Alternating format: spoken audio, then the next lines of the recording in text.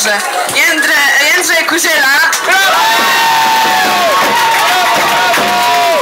E, na perkusji. Potem e, na kontrabasie Mikołaj Nowicki.